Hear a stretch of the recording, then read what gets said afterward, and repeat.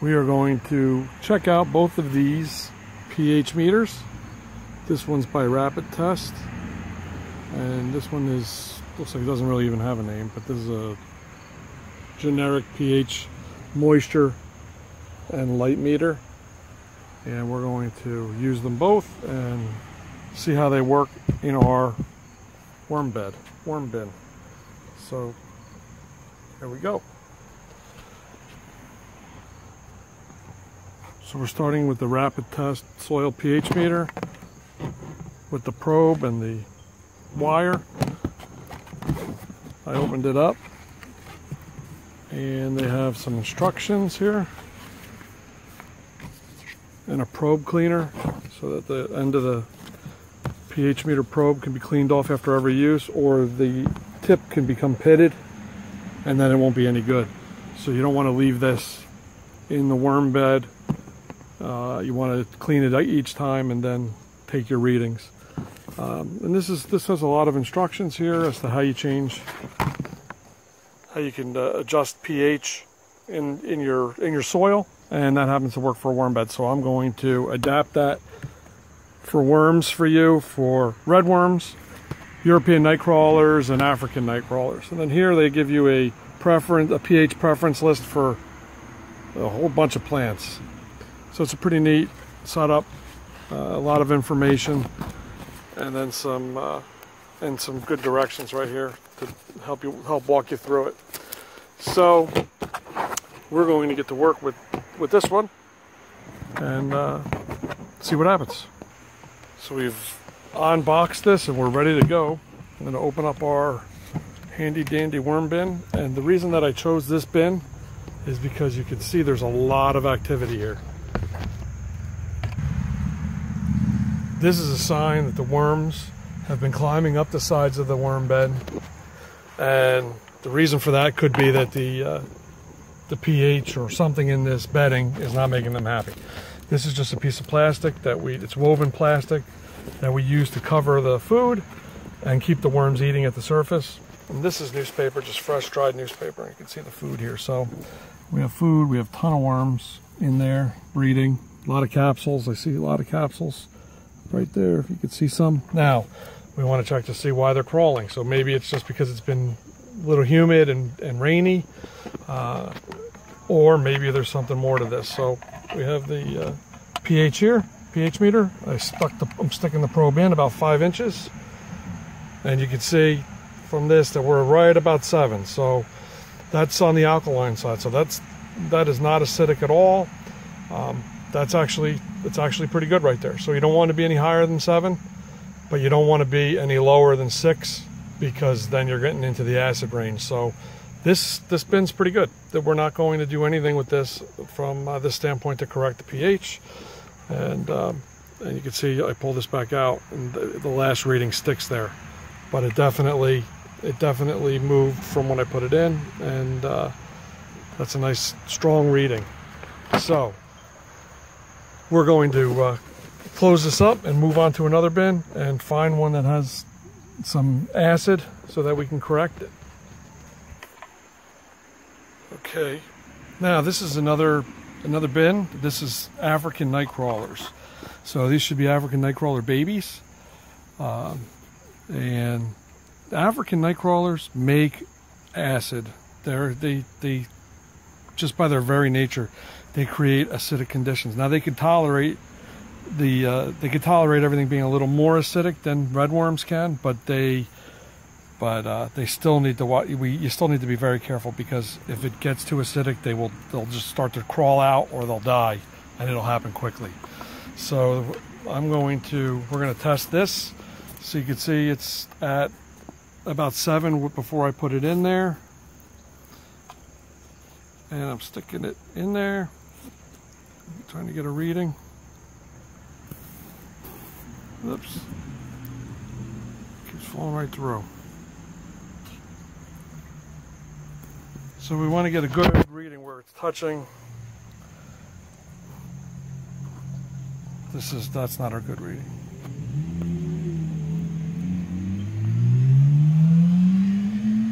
That's a good reading. So I just I tested these. I, I, had to go through a bunch of worm beds and bends until I found one that was acidic because uh, we treat our, our worm beds, you know, uh, all the time. We're always testing them and we're always checking them out. And um, so it took me a while to find one that had a problem. And this is definitely one that has a problem. So we're very close to having an issue here. We're on the acid side. Um, this is, the, like I said, these are uh, African night crawlers. So we have to be very careful with this. So now, what do we do about it? There are a couple different things that you could do to treat an acid condition like this. The first one is to use powdered limestone. So you could you could get powdered limestone at a agricultural store, or you could get it from us. We sell it in in uh, one pound containers. You could also get uh, 32 ounce, but um, the 16 ounce container is looks is like this, comes just like this with a shaker top, and you basically just, it comes with instructions obviously, and you just lightly, you would just light, lightly coat the bedding, and then you want to mix this in. So you would mix mix that into the soil, and then and then you coat again and then give it a, light, light watering. You don't want to go too crazy with the watering because you don't want to create anaerobic conditions. You want to keep this bed nice and fluffy because the air, that air was, will help cure that acid condition too. So you want to just, you want to, you want it so that it breaks apart like that, nice and fluffy. The worms can kind of swim around in there and uh, get from place to place. So that's one way. The other way you could take care of it is eggshells. Lots and lots of eggshells. So eggshells will automatically help with acid conditions and, and it'll treat the soil, but the worms also love the eggshells. So they will go all over in there and eat all that good stuff right up and you'll come back and you won't have any eggshells left. So that's another great thing to do. You could you could uh, feed them just the way you get the, the yolk out of the egg, you get the egg out of the eggshell and, and crumble the eggshell and put it in there, they'll eat everything. Now, the other thing you could do is if you notice that you're you have anaerobic conditions. So how would you know? Well, the bedding will be wet. It'll smell bad. A good, I don't know if you can smell that smell. See, a good bedding will smell earthy. When it smells rotten, that means it's anaerobic. So let's say this is a wet bed. Uh, it's mushy. It smells. You would take crumpled dry newspaper and you put that in various spots like this and you cover it over. Now you're probably thinking, why would you put dry newspaper in there? Doesn't it have to be moist? Well, it's going to absorb the water from the bedding and then it's going to uh, create a spot so that the worms can go and eat that bedding. It'll be uh, it'll it'll be uh, more neutral, more alkaline, less acidic, so they'll migrate out of the bedding if it's if it's um, anaerobic and they'll go they'll go there. The other thing that they'll do too is that if you you just put it in like that, they will come up into the paper if the bedding is not to their liking and they will start eating the paper and they'll live there and that'll give you a chance to aerate the bedding, treat it with lime, put eggshells in there and and uh, give it a lot of air, a lot of time and and you'll uh, you'll correct it you'll have happy healthy worms. Again, you don't want this, you don't want to have a pH that's too high because alkaline isn't good either. But between six and seven is perfect. Anything lower than a six, you'll want to treat. And that goes for red worms, European night crawlers, and Africans. Africans will naturally be a little more acidic than the other two worms, but you still want to watch that because when African night crawlers turn bad, when they start to go, uh, and their bedding goes sour, it, it goes it goes bad quickly, and you'll lose a lot of money in worms uh, very very quickly. And that is the first one. So let's check the uh, let's test out this second tester. Okay, I've unwrapped the second tester, and I've uh, I've put the probe in. So these this is these are these have two probes.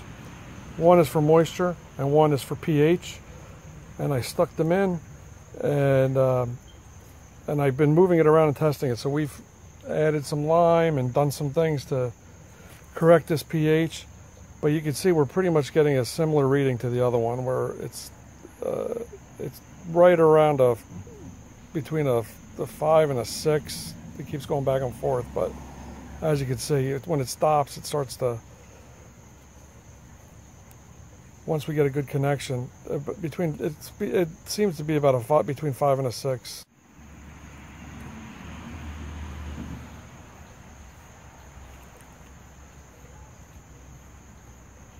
Okay.